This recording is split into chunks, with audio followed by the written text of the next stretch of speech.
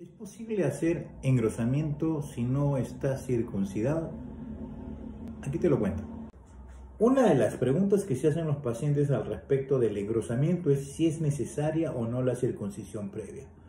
La recomendación es que sí, que es mejor haberse hecho la circuncisión antes de una cirugía de engrosamiento porque los límites de la sustancia de la colocación de la misma lo van a desempeñar la misma piel tanto en su porción distal como en su porción proximal. Recordemos que los fillers son inyectados dentro de la piel, debajo de la piel, por encima de los cuerpos cavernosos, logrando el efecto de aumento de circunferencia. Sin embargo, el hecho de no estar circuncidado tampoco significa que no necesites realizar este procedimiento con circuncisión previa. Si quieres conocer más sobre este interesante tema, es solo seguirnos y te invito a seguir Que no te apene, donde encontrarás esta y otras informaciones.